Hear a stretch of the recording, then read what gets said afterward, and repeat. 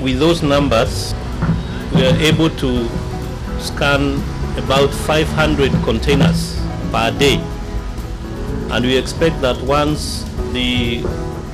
other scanner is launched within the next month or so,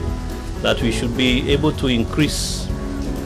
the number of cargoes that we scan in a day to about 750, which will be approximately a third of the containers that we receive and process here in a day.